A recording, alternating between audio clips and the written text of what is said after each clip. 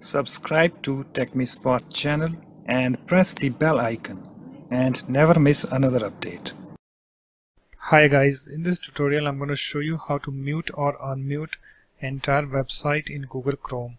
So sometimes when you visit a website uh, there are videos on that that plays automatically and it's really very annoying.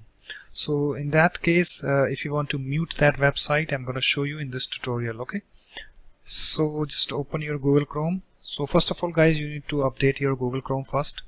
So just open your Google Chrome. Click on this three dots. Hover your mouse on this uh, help and click on this about Google Chrome. And you can see it's checking for updates. So uh, my Google Chrome is up to date. If you don't have uh, the latest version of Google Chrome it will update for you okay? So after updating uh, just open the website for demonstration. I'm using uh, youtube.com okay so I'm opening this uh, video. And we will uh, mute this youtube.com website. Okay so you can see the video is playing automatically. So you just need to uh, right click on this you know tab.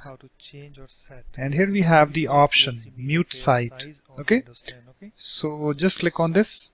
And you can see guys uh, you can see the sound over here but the uh, site is now muted okay? And also if I open you know the new video let me open the new video.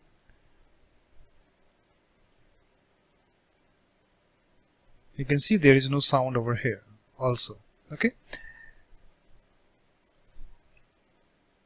You can see there is no sound and the entire website is you know muted you can see there is no sound.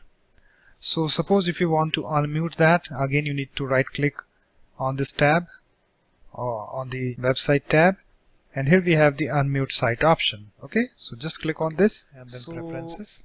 the first method and it will be unmuted okay guys? So in this way you can easily uh, mute or unmute entire website in Google Chrome. So that's it guys. Thanks for watching. If you like my videos please support this channel by subscribing to it. Thanks. Bye bye